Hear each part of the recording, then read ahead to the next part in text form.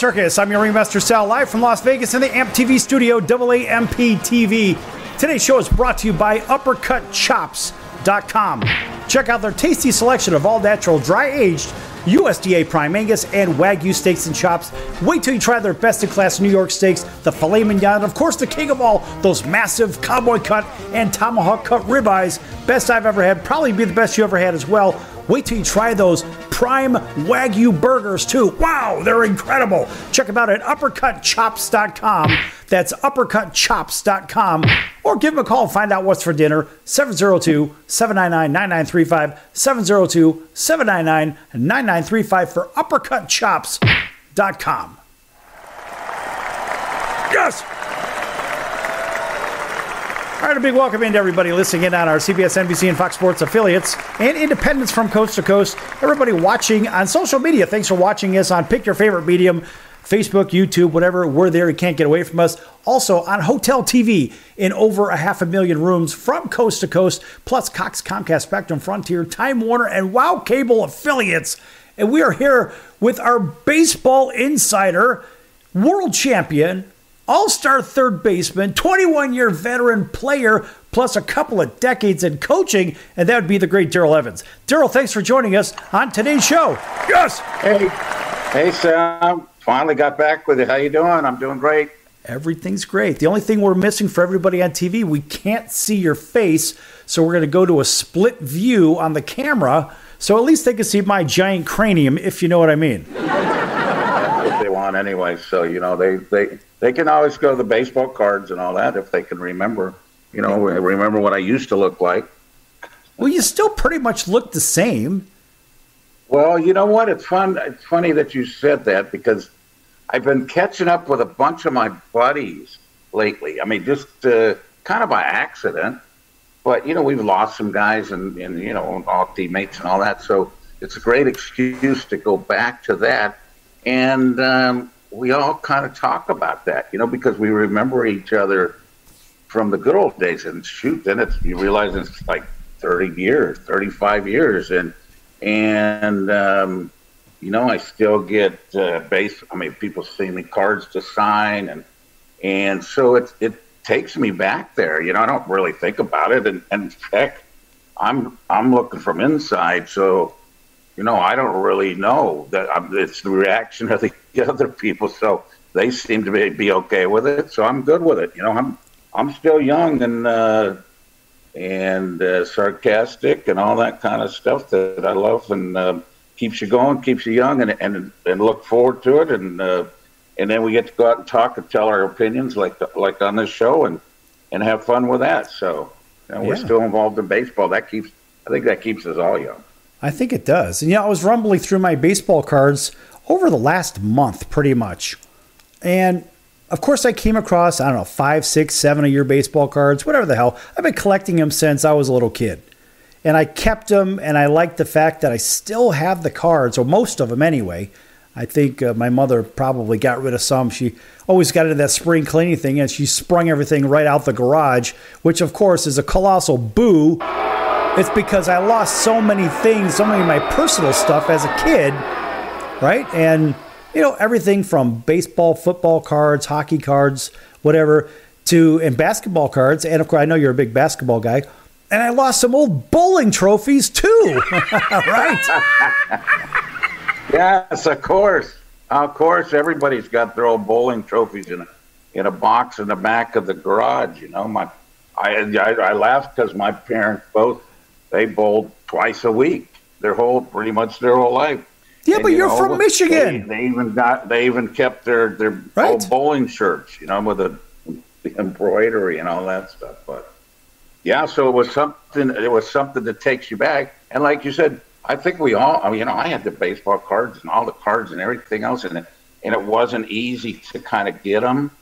You right. know, you had to oh, no, you had to go in the you know with the bubble gum and all that stuff, yeah. and and um, and then of course the the stars didn't have you know compared to the other guys so you know you had to keep buying and buying and buying maybe finally get a, a, a star once in a while but but you had uh, I think I was Don Mossi's they used to have like you, know, you got over 50 of those and that wasn't enough to trade for one star. So, you know, all that kind of stuff. But it, it was a way for us to to love baseball when we not like now where you can see every day and you can and all that kind of stuff. So you're right. That that was um, that was so fun to grow up that way and imagine what it was like. And you know, I was blessed to get to the to get to go out there and stand on that field and uh, play and and entertain and and listen to what other people thought of it. And then I could go right back to going, well, heck, I'll tell you what I thought when I was growing up, just the same thing as you. And,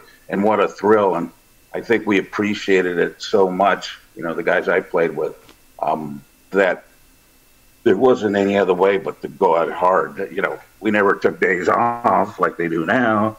Or, you know, it was like, heck, if you took a day off or you asked for a day off back then, they gave you bus ticket go home. So, you know, it was, it was just a, it, I think probably see if, it, you know, talking to people that didn't get to play, not very many people did get to, to the big league level but they all say the same thing. You know, as part they got to be part of the game just through the baseball cards and the stats and you know what wasn't watch on Sunday on Sundays. Well, when I was growing up, the only way you knew anything was the Sunday paper had the stats.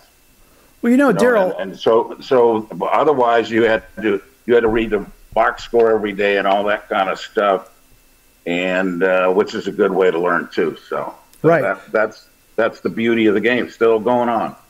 You know, if I had, if I still had my baseball cards, I had some of them, but some of the old baseball and football cards, you know, growing up in Chicago, they always load you up with your local players from the card companies, right? Now you were you're from Pasadena originally, but you think about you know the players that you were going to get in your bubblegum packs, your wax packs. And so for us in football, of course, of course we got all of our Chicago Bears players and back then I remember I must have had 20 or 30 Walter Payton rookies. Boy, if I had just one of those now, those cards are worth $81,000 each. Imagine that. Show me the money! Yeah, but if you would have had all yours, the, the 50 that you had, it wouldn't be so valuable. It's because we all got rid of all the, the cards and there's not very many of them left. Which right. I, I, guess that's the uniqueness of the whole thing. But yeah, you're right. Yeah, I, um, I don't have any of those left. Yeah. Well, so how many guys did you ever get to meet? Anybody when you were young, or did you ever, you know, run into somebody at the store, or any, you know, any of those kind of guys? You know, that's I think that was kind of the dream of growing up and be like, oh man, what if I got to meet this guy? So okay, so and, and I've got three minutes left in the segment. I'm going to finish this segment out with this story. So when I was about eight years old, I used to cut through the Ford dealership that was two blocks from my house on my way home from school because they had the coldest water fountain in town, right? They figured they were making money, right? And eight years old, what do you, what do you know, right? Well, the good news is that I would go there and I would go get a nice cold drink of water out of the fountain there, and I'd go in the side entrance on a street called Grove, the street that I grew up on, and and I would usually walk through and say hi to the sales guys and whatnot. You know, here's this pesky kid coming in to get cold water again. Well, one day I went and did that I got my water. It was so hot. I wiped my mouth with my arm. I never forget this. And then after I got done, yeah, I'm wearing a ball cap like I do every day, I guess, because I have a, a lack of hair, right? But nonetheless, so I went and I wiped the sweat from my brow and just wiped the water from my mouth. And I, this guy called me up. He called for me. He goes, "Hey, you! Hey, I'm talking to you. Come over here." And I'm looking around like, "Me? I don't know if you could see me because your camera is dark right now. Yeah. Right. So. Yeah. No, so here, so here we go. So I'm like, okay. So I walk over there. My eyes are getting bigger and bigger and bigger because when I got next to him, the guy goes, "Have a seat. Sit down. I want to talk to you." It was Ernie Banks, right? Oh. Man. Oh, I know. And so here, here's this eight-year-old kid, and my eyes are as big as pizzas, right? Because that's what we have in Chicago. We have good pizza. So my eyes are as big as pizzas, and I'm talking to Ernie Banks. It's just me and him talking about Little League Baseball and whatever. What a great guy. What a great experience. Now, back then, when I was about eight, I rooted for both teams in Chicago, right? And, and I didn't know any better because I didn't realize what the Cubs always did with their great players, always dealt them off to everybody. Nonetheless, nonetheless, that was a glorious moment, probably my best moment as a kid sitting there, and I'm talking to Ernie Banks. And he was such a nice guy, just as you saw him to the day, the last day he was on TV in any interview or whatnot. He was always great with the people. The people loved him. He loved the people. What did he always want to do? He wanted to play two. Let's play two, didn't he? Sure. Well, yeah, he probably hung out in the store waiting for somebody like you to come along so so he could tell baseball stories. What a great experience. And here in our last 30 seconds, Gerald, I have to say that still today is my best experience with anything around baseball, whatever, wherever, it doesn't matter. That was as good for me as it possibly could get. In fact, when we come back from break, Gerald, I want you to reach down deep into the memory and I want you to tell everybody maybe one or two of your greatest baseball stories as a kid. We'll be back in just a minute. Few minutes, that is, here on the Sports Circus with the great Darrell Evans, World Series champion, All Star. Maybe at some point he could be a Hall of Famer. You never know. Back in a few. Don't go anywhere.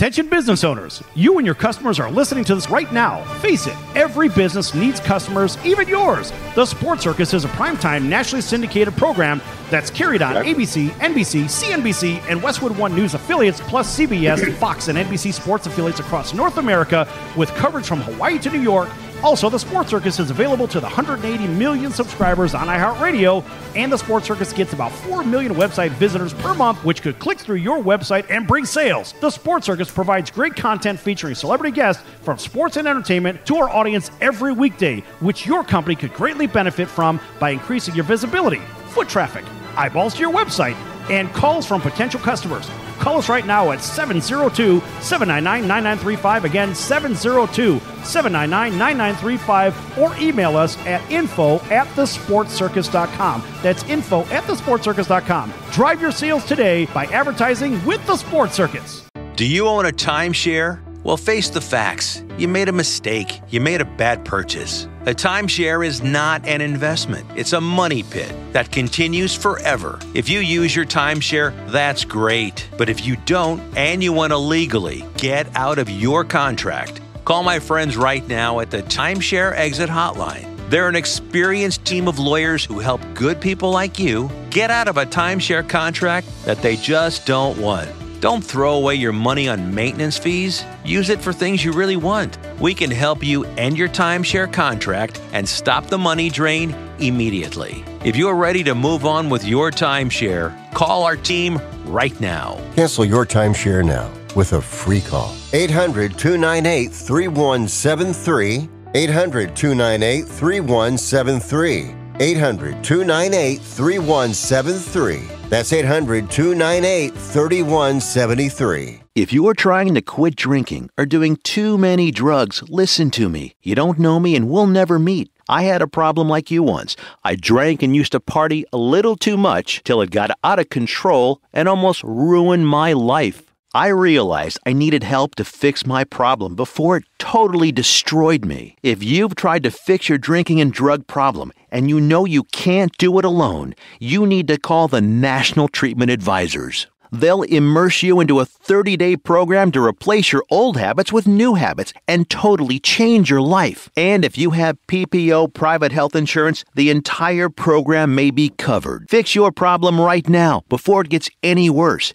Get clean. Call now and learn more. 800 957 6209. 800 957 6209. 800 957 6209. That's 800 957 6209. You're listening to the Sports Circus, and I'm Mike Golic.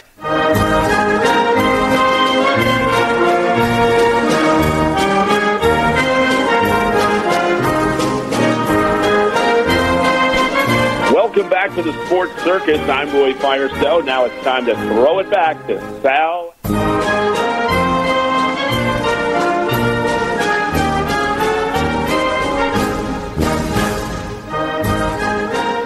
Welcome back to the Sports Circus. I'm your ringmaster Sal, live from Las Vegas in the AMP TV studio, AAMP TV. This segment brought to you in part by our friends over at the American Business Trust Company, helping companies with strategy, sales and marketing, capital resources, and establishing companies with physical locations or on the internet. Give them a call, find out more on how to fund your company, how to staff your company, how to get your company off the ground. In fact, why don't you give them a call at 702 799 9935? 702 799 9935. I may pick up the phone, you never know. Or email them at info at abtrustco.com. That's info at abtrustco.com.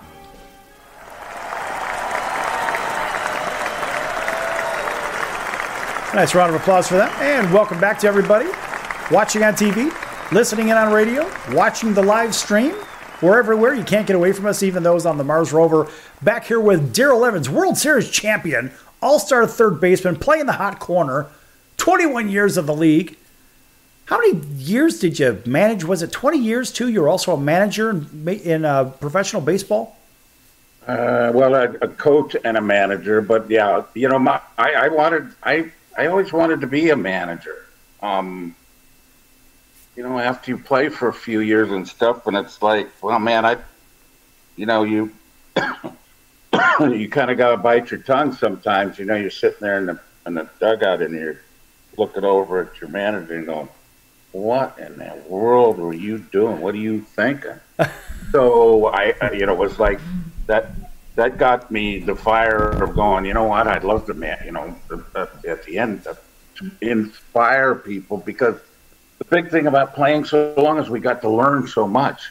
Just think from so many people every year, I got to learn something new about baseball. And, and, and certainly when you're younger and stuff, you, you, you're soaking it all in. Right. Then after a while, you're, you're okay to, to voice your opinion and go, no, I wouldn't do that. I wouldn't do that. I know you talked about that earlier in your show about why things, you know, why things we talked about that earlier is like, you know, bunting in the in the early innings, and so because if you, you know, if you bunt, man, your your leadoff man's supposed to be your best, fastest guy. The second guy used to be is like, well, he's got to handle the bat, and it's like, uh, well, that never made any sense because in the first inning, you're going to bunt him over. Because if you bunt him over, the leadoff man gets on second base. You got one out, and you got your best hitters coming up. The third hitter, who now the pitcher has a base open, so he doesn't really have to pitch to him. And if he and if he ends up walking him, now he's got first and second, and you got the fourth or fifth guy. And if they hit a ground ball, you're out of the inning. That's right. So there's so many of those little things that they're just like baseball is still the same. You know, it's like was, and this is the way that, and it's and it, it's so much different. Depends on your personnel more than anything else. So, so I, I, I always had a thirst to uh, manage. I never really got a chance except in the minor leagues, uh, which is disappointing. But um, so, but when you're man- when you're in the minor leagues, managing is the same. It doesn't matter where it's at, and it's kind of fun because you got like like I said, you got younger players, more inexperienced, so there's more teaching moments actually and right. uh, and they're not going to talk back to you. They might be like me sitting in the dugout and going, "What the heck are you thinking?" But they're probably not. You know, they're going to listen to you. So, I, and that continued. I think what kept me and the guys played for a long time because we loved the game. We didn't lose our love for the game or anything. You know, when when we were like young, we loved the game. When you're 30, you love the game, but other people are telling you, "Well, yeah, you better hurry because you know you're gonna you're going to fall apart here. You're getting old, right? And you can't play anymore. And it's like, wait a minute, that's not true. So, so your love for the game never ends. And I think one of the things that was that motivated me the most was when I went to work. There was something I was going to learn. Something I was going to learn something new, no matter what. Whether it was playing out in the front yard, or it was playing high school, or was playing this game, or the other. I could always see there was always something that was going to come from baseball and and and you had to be prepared to be the the one that already knew what to do when those moments came up. So you were telling me, I mean, I love your show and all that kind of stuff because you got the greatest music. You know, I, I mean, I grew up in heck. We loved going to going to a circus. Heck, one would come into town once a year You know, and it was like, and but it reminds me of how they play the game now. Sometimes, you know, you watch the highlights on TV, and they should have the circus theme on some of the stuff because think about Right. what do they show? They show the big moments, and then they show the stupid stuff they do every day. And you would think that after all these years, 150 years we've been playing, you would think that they would be better at that, you know, because they say that these guys are bigger, stronger, faster. Uh, if that was the case, they'd be doing better than they're doing. But they, but the one thing about it is they can't, they can't, they're not smarter. They're they're they're not as prepared. They're not. They make more mistakes, and we overlook them so. But they're not more. I mean, practicing. if you made a mistake back then, you were told about it. You know, you you were accountable. Darrell, they're not practicing. They're not practicing. And here, not- here's a here's a perfect yeah, well, they're not practicing the right way because they don't practice that. Here's a perfect That's example. bor- that's boring to them, but the higher you go in baseball, the more importance it takes on. Darrell, that's the difference. The ones that make the least mistakes win. Darrell. That's the difference between uh, the major league teams. And right. you know, we got some te- we got you know we got three or four teams that you know probably you know you if you play less than 400 baseball, why you're supposed to be so talented and everything, but apparently you're not that talented, and so it's it's kind of frustrating to watch the games that and it makes it easier for the good teams to beat the, the other teams and beat them up all the time because they're going to make the most mistakes. So it's uh, you know it's such a cerebral game, and uh, it's hard to, it's hard to focus. I think I guess for most people to focus all the time. But you know I went to work and it was like, are you kidding me? I'm gonna be out here for four hours, five hours, and I, I'm not going to focus. Uh, you know it's like, and if you didn't, you you you were held accountable. Okay. You know, so so that's uh, you know I grew up that way. You know, I grew up uh, like I said. You know, in Pasadena, we had the heck. They had some spring training games out there at Brookside Park, which is now, which is the ballpark that's been it's across the street from the Rose Bowl, and it's been there forever. And it was called Brookside Park, and they had the Pirates and the Cubs had spring training back in the 20s and 30s, and Ford and some they played some games like that. And one of the things that was great was it was always major league players that that were in the area, and on the weekends they play games there too. So I could go, like you said, what I'm growing up. Heck, I could go down to this park or several places in Southern California, and major league players were playing in the off season. You Yeah. know, and they were they, they were they were accessible. So they Yeah. were more like they weren't like you said they weren't aloof. They didn't act that way. All right. They were trying to teach everybody. All right, hold, hold that thought for a second. I had to have an explosion get in there to, to break your stride for a moment. Our Oh, uh, sorry, yeah. no, that's okay. It's all right. Just watch for the cues and whatnot. We're set. Yeah, Everybody on TV Okay. could see it. So we have one of our guys from. Oh, he's he's still an ongoing participant with the Sports Circus. Our former full time producer, Colonel Bucky, and he's a big Cincinnati guy, right? But he wants to know how was it playing for Sparky Anderson? Answer that question in one minute. Then we're going to have to go to break. Okay. Oh, in one minute. Um, well, he was a Hall of Fame manager, I guess, but the best thing about Sparky, I guess, was that he could handle great players. You know, he had the Big Red Machine, and then he had our teams, and uh, won with them. But uh, you know, he also lost 100 games in, in a few seasons too. So, so I guess he was the epitome of what it's like to the the little bit of line of how good, uh, what the difference is, and I think it's personality more than anything else. Let the good players play. Um, try to teach the young players how to to watch them, and sit back and let the talent pretty much dictate things. And uh, he was good at that. Well, think about this in our last uh, last minute of the segment or so here.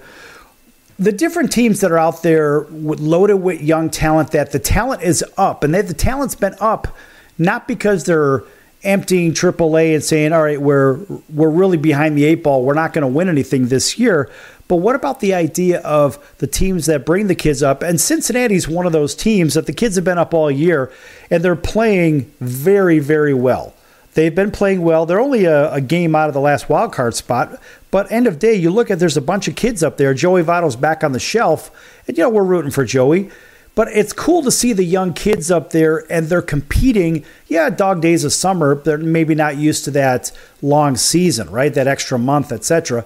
But when we think about a manager or a system that has confidence in the kids, I like that. But I also like the fact that teams need to practice a little bit more, right? Fundamental, fundamental, fundamental. And when we come back from break, I want you to pick up on that fundamentals talk, then get into a story, because remember, we said that at the last break when we were going in. But fundamentals are such an important part of this game. People not understanding basic things of the game. And Darrell, there's some things we're going to talk about in the next segment. But tell you what, we're going to go to break right now, take care of a little bit of business for the Sports Circus. Back here in a few minutes, and we're going to ask Colonel Bucky to ask another question because he's a big Cincinnati Reds guy, and we're going to try to help him out and everybody else too. Make sure you send your emails if you like, info at thesportscircus.com or on the streamer, send your question there. Back in a few minutes on the circus. Don't go anywhere.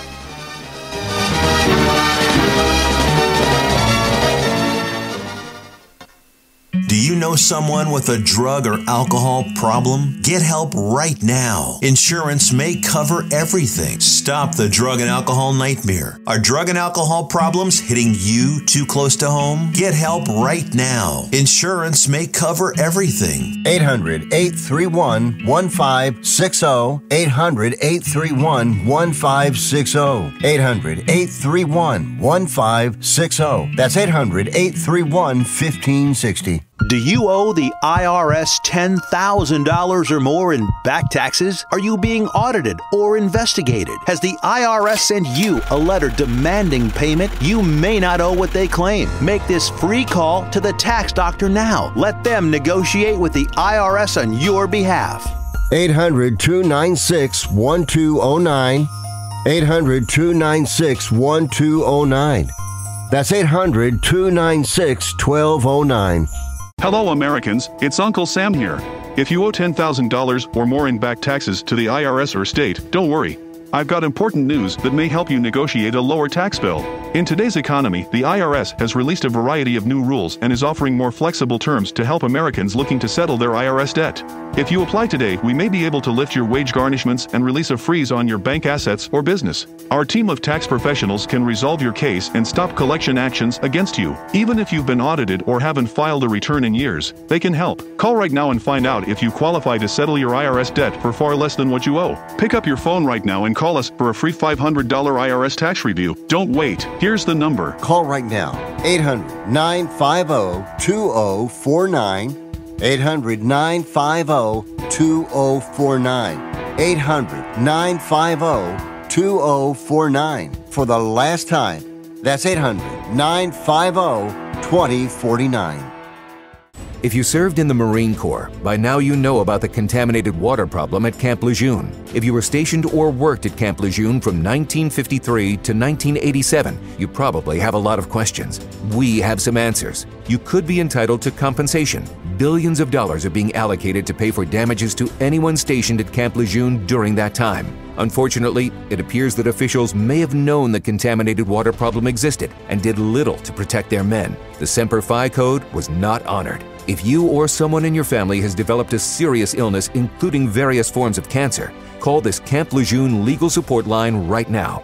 You can't turn back the clock and change what happened, but you can certainly call right now and learn your rights as a Marine. Here's the number. Call 800 335 7196. 800 335 7196. That's 800 335 7196. Paid for by Legal Alert Line. Hey, everybody. This is Barry Katz from the Industry Standard Podcast, and you're listening to the Sports Circus with Sal Tuzzolino.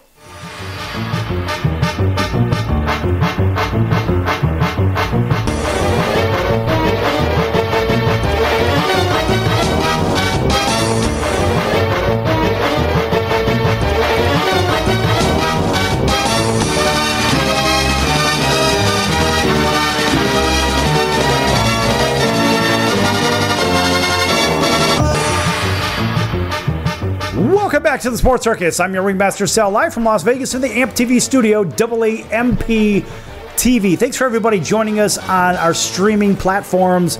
Cox, Comcast, Spectrum, Frontier, Time Warner, Wow Cable Television affiliates, Hotel Television, and I think we're in 620,000 rooms, 650,000 rooms, something like that, some crazy number.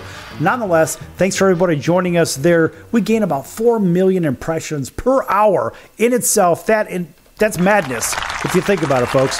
That's about 300,000 impressions per 5 minutes. Maddening.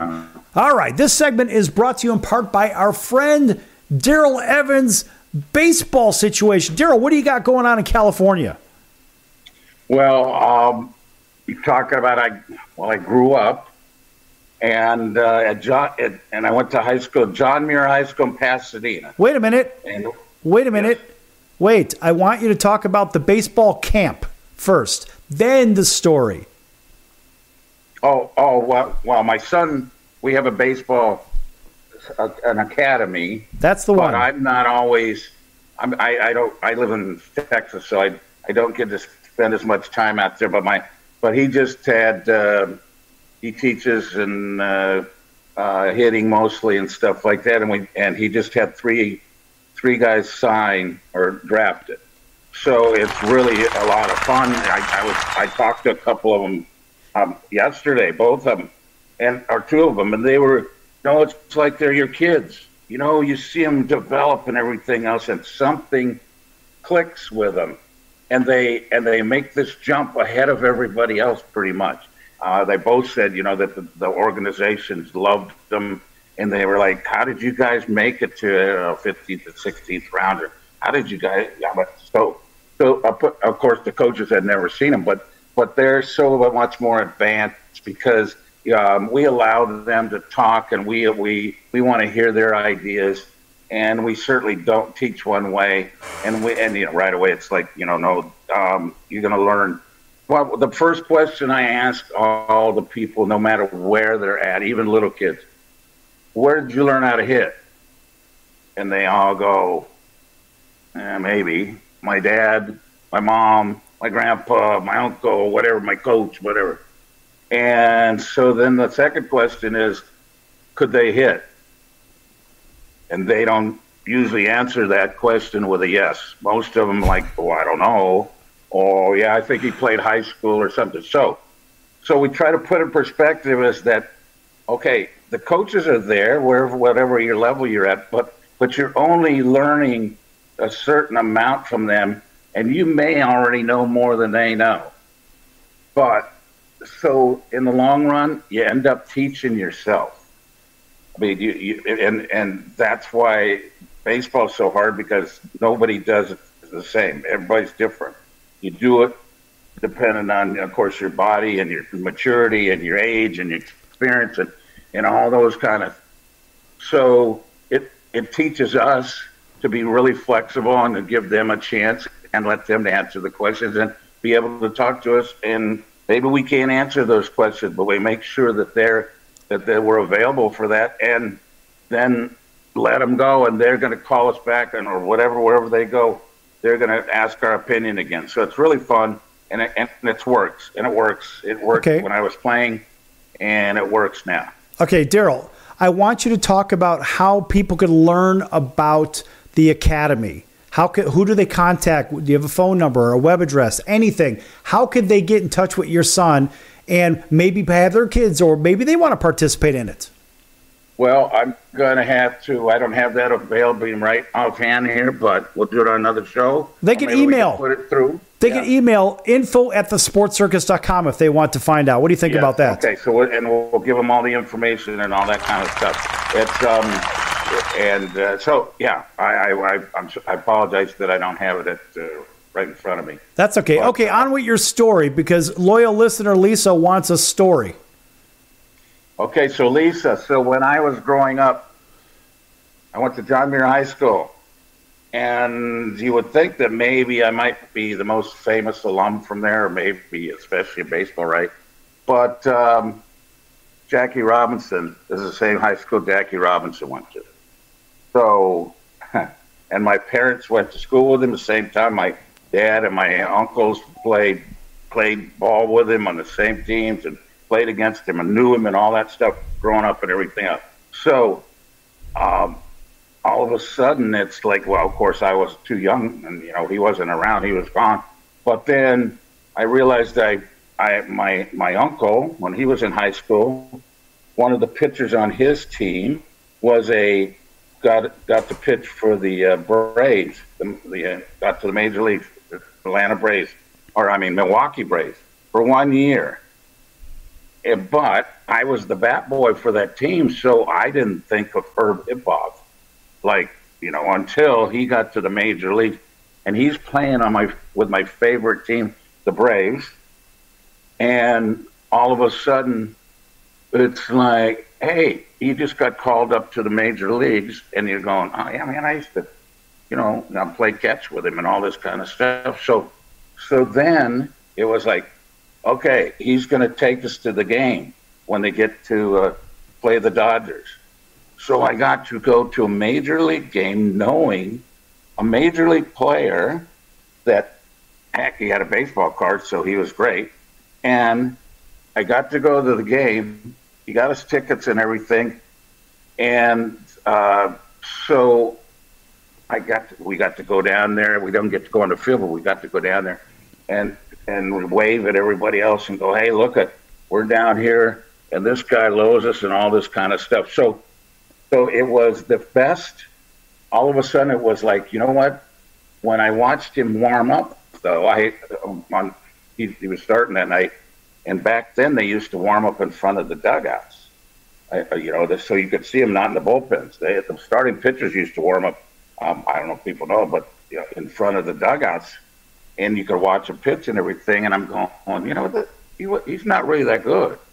I mean, I saw him pitch in high school. You know, I'm sitting there going, I, I you know, we, I'm going into college. You know, I'm going to just finish high school. I'm just going to junior college and. And, and, and it was like, it was so funny because to see him compared to the other guys, and you thought, oh man, he's throwing 100 miles an hour, but maybe he wasn't. But it, it was so, it was, I, I don't know, I, I was lucky, I guess I got to see that comparison. And then I listened to him after the game, after the game, talked to him and everything else, until he was telling us how scared he was and how nervous and all those kind of things that you would never, like you said, you heard Ernie Banks talk to you about stuff that you would never know. But I got to be around that kind of stuff probably because of being in California. We used to have at this ballpark in, in uh, um, across the street from the Rose Bowl, Brookside Park, which is now Jackie Robinson Field. They used they used to play softball, overhand softball during the winter time and we had Irv Noren and Ralph Kiner and guys like all kinds of these guys would play against each other, um, and nobody knew it, but we were bat boys all the time for all these guys. So, so those stories, and and I don't know people know too. My my mom played professional softball. Two of my aunts played professional softball when it wasn't big deal back then, but it was you know it was underhand fast pitch she played in Arizona and in Mexico and all these kind of places. And then two, three of my uncles played professional baseball in the minor leagues. My grandfather played in AAA, but he was he played he pitched for Mexico because uh, he was the best pitcher in Mexico. So the so the Mexican president wouldn't let him come and play in the states.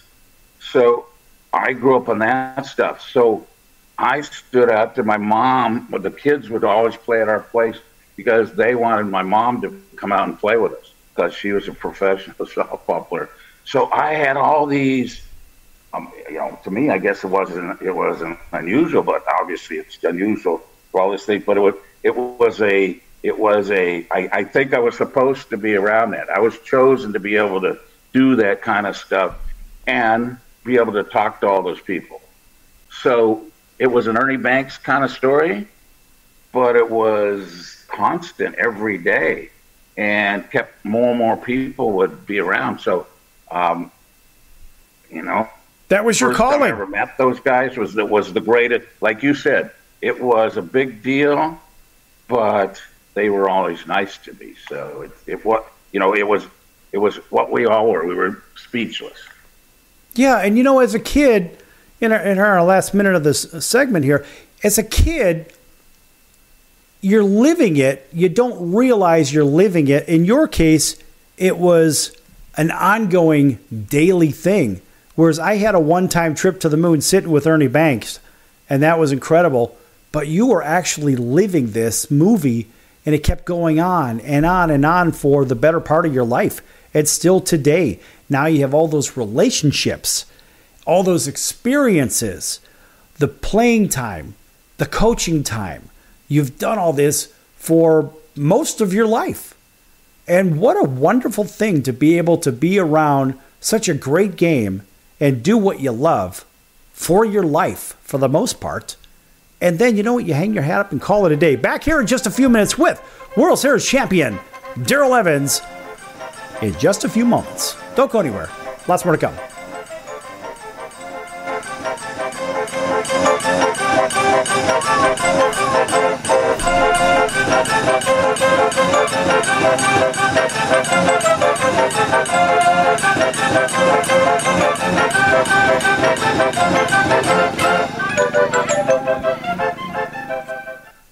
Do you own a timeshare? Well, face the facts. You made a mistake. You made a bad purchase. A timeshare is not an investment, it's a money pit that continues forever. If you use your timeshare, that's great. But if you don't and you want to legally get out of your contract, call my friends right now at the Timeshare Exit Hotline. They're an experienced team of lawyers who help good people like you get out of a timeshare contract that they just don't want. Don't throw away your money on maintenance fees. Use it for things you really want. We can help you end your timeshare contract and stop the money drain immediately. If you're ready to move on with your timeshare, call our team right now. Cancel your timeshare now with a free call. 800 298 3173. 800 298 3173. 800 298 3173. That's 800 298 3173. If you have diabetes, listen up. If you have insurance, you can qualify for a continuous glucose monitor. With a CGM, you can continuously track your levels and trends and spend more time in range, significantly lowering your A1C. More importantly, a CGM eliminates the one thing most people with diabetes hate painful finger sticks. Order your new continuous glucose monitor today. If you use insulin and if you've seen your diabetes care provider within the last six months, you may qualify for your own CGM right now. We'll do all the insurance paperwork and deliver your new CGM at little or no out of pocket cost to you. Medicare and most insurances will cover your CGM, so don't wait. Have your insurance handy and call the Aptiva Medical CGM Health Hotline right now. 800 320 2751. 800 320 2751. 800 320 2751. That's 800 320 2751. If you're trying to quit drinking or doing too many drugs, listen to me. You don't know me and we'll never meet. I had a problem like you once. I drank and used to party a little too much till it got out of control and almost ruined my life.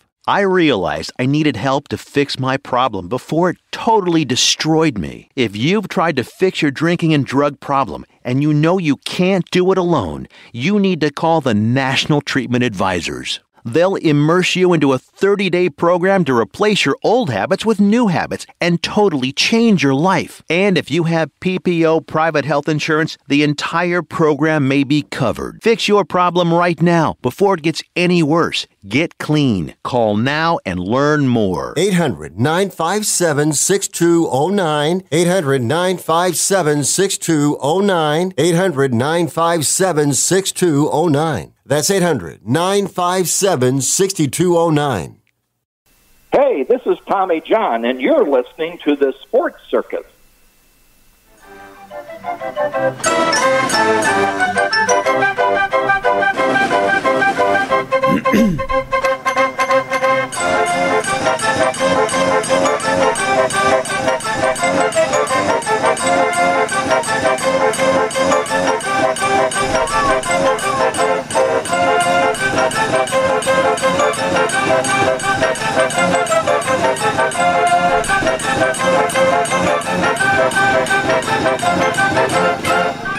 Welcome back to the Sports Circus. I'm your remaster Sal, live from Las Vegas from the AMP TV studio, AAMP TV. Folks, make sure you like, subscribe, and follow the Sports Circus on all social media platforms Facebook, Twitter, uh, Instagram, you name it, we're there. Even YouTube. Make sure you like and subscribe to our videos and whatnot and our audio feeds. There's lots of cool stuff out there. And of course, we're on Apple and Spotify and iHeartRadio and Google and Audible all of those, plus many more. So make sure you like, subscribe, and follow those. Also, make sure you check out our partners page at thesportscircus.com. One of those is the College of Southern Nevada Athletics, csncoyotes.com for upcoming games and events. That's csncoyotes.com for the College of Southern Nevada Athletics. Yes! All right, back here with Darrell Evans, World Series champion, playing the hot corner with the Giants, the Tigers, the Bravos.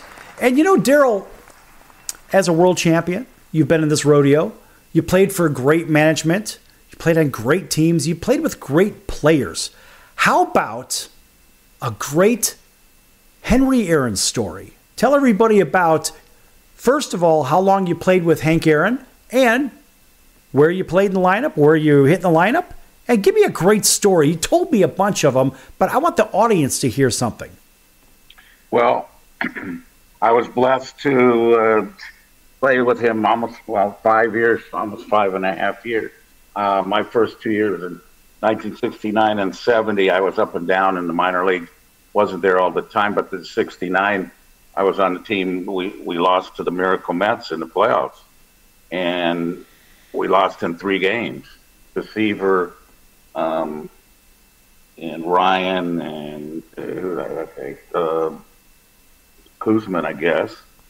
Um, and Hank hit a home run in each game, and uh, you know, sit there and watch this guy that I believe was chosen to be who he was, and and he was the person that was chosen to beat Babe Ruth's record and do all the things that he's done. But all the magnificent things that he's done, he was he was, I think, the key was probably as humble as anybody I'd ever met.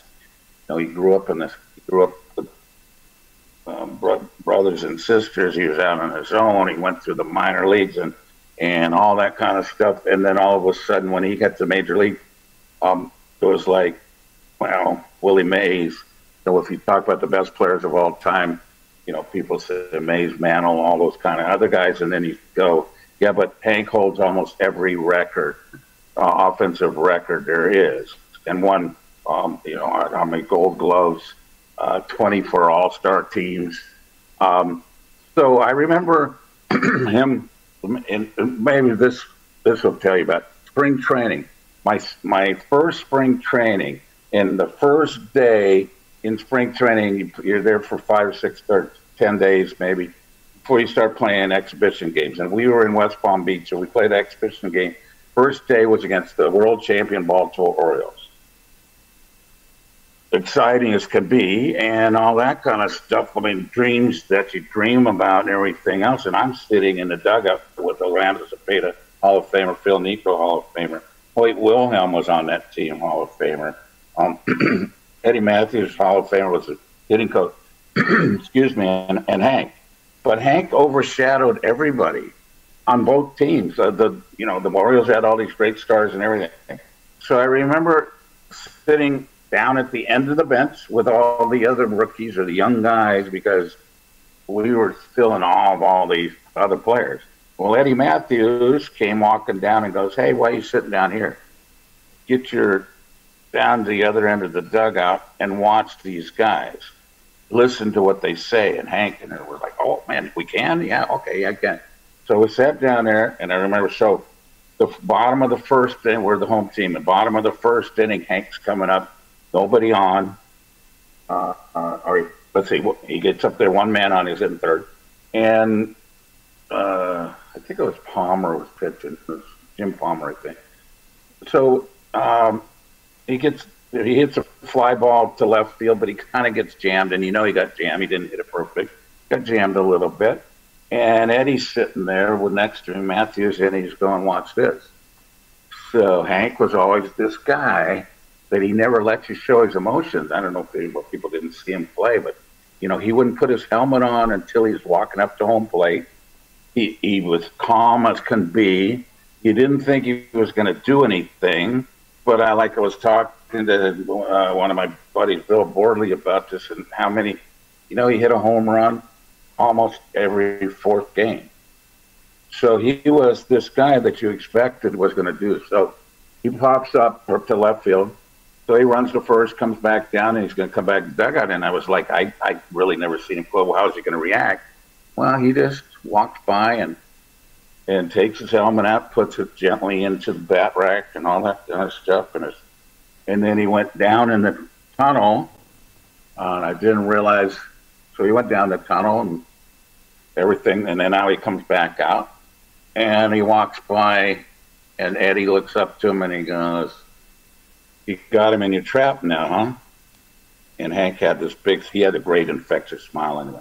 And he smiled at Eddie I didn't know what he was talking about. So Hank goes down, waits till he's going to get his next at bat, couple you know, couple innings or whatever. Now he's going up there on on deck circle, and Eddie's going to watch it. Same thing. So this time he hits a home run to left field. Now, this is his second at bat in spring training, but he got jammed on the same pitch. But this time he hit that same pitch over the fence. And like I said, Eddie's hitting me. See that? See what? And I'm like, wow. That's, that's wait a minute. No, that, that, so he comes back in the dugout, and and and Eddie and he and he winks at Eddie. I'm watching him. I'm watching Hank. Winks at Eddie and sits down and goes, "Yeah, I got him again." So it was all about, which is some. I mean, does anybody ever think that? Are you kidding me? That's how good he was. Was that he he he was like, I got him in a trap. I know what they're going to try to do with me because they, they think I'm old and I can't hit anymore. And because they jam me, so now they can pitch me inside again. And of course, he was best making adjustments. And it was a, it was a, I would have never thought about that. Of course, yeah, it was, no, it was, it was all mental. You know, it, it was all so that he knew now and though all those pitchers, not just Palmer, but when of course he was in the in the American League, so he was going to face him during the season anyway. But, but all those pitchers on the other team all saw that too. So he was that guy that you just were so yeah, you were in awe of him, but it was so he made it look so easy, but it was he was doing something that no one else could ever do better. Uh, you know, I talk. I used to kid him all the time too, and I used to locker right next to him and everything. And he, you know, he's he, he was a. You know, we liked to kid him. He he loved to laugh. He loved to be the butt of the jokes, stuff like that. And because he knew he, what his status was, he wanted to make everybody comfortable. He came up to me right away when I was a rookie. And you know what? I mean, I I think people think, oh yeah, you get razzed and all that kind of stuff. You know, they do that but they do that to test you to see how you're going to react. Because, and so, you know why? Because they want every player on that team has to be as good as he can be for us for us to win a pennant. So yeah, it's it's hitting and it's all that kind of stuff, but it's trying to educate everybody on how to get as good as you can be. And so that was to me that was the the essence of Hank.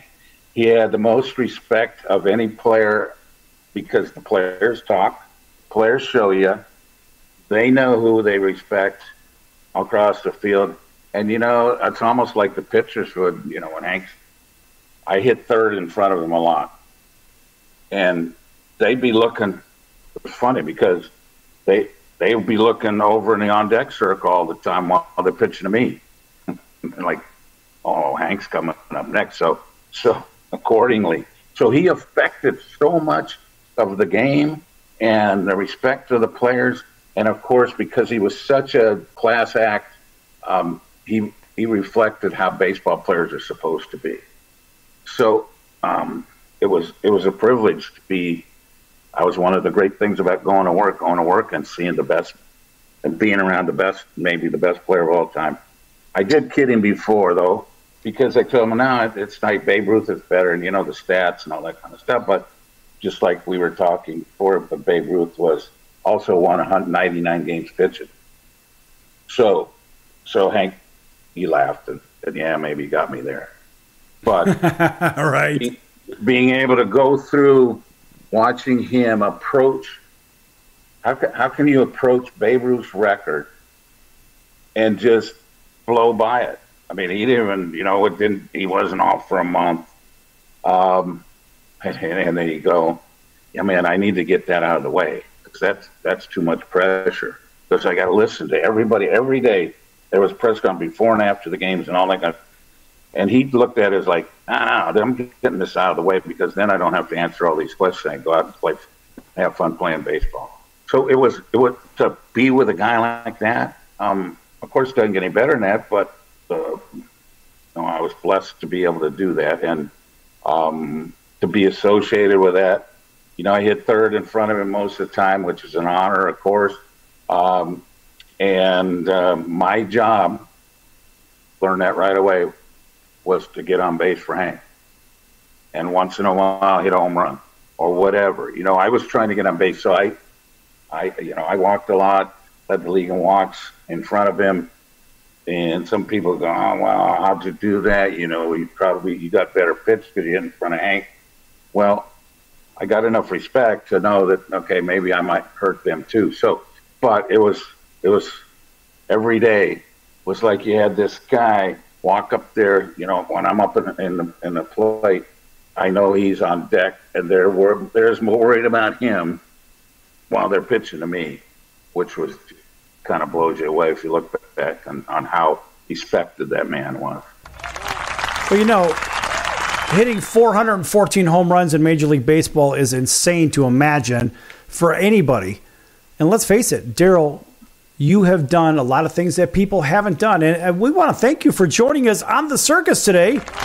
And of course, you're always welcome back because you are one of our baseball insiders, and we want you back again real soon. And I know you'll be willing to do that because we have lots of stories. And geez, we talk oh, we got lots the phone to anyway. talk about with the pennant races. Yeah, I know.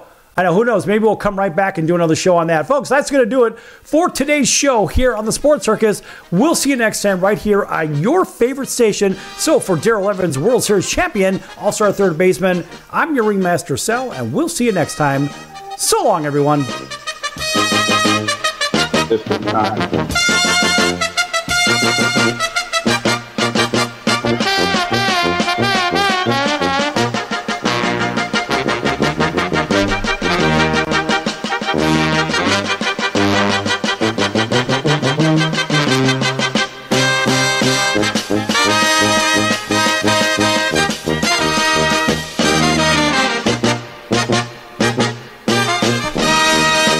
Can your IRA stand up to the next financial crisis that our top economists are saying is at our doorsteps? By allocating a percentage of your IRA into physical gold and silver with a tax free rollover, you can diversify and safeguard your holdings from turbulent markets and economic downturns by putting your IRA back on the gold standard. Find out how to safeguard your assets with a tax free rollover with a Genesis Gold IRA, the only IRA that can hold physical precious metals. Call now for your free gold and silver report. Protect your IRA today with one simple phone call and learn how to qualify for up to $10,000 in free silver. Call Genesis Gold Group, empowering faith driven stewardship. 800 932 5517. 800 932 5517. 800 932 5517. That's 800 932 5517.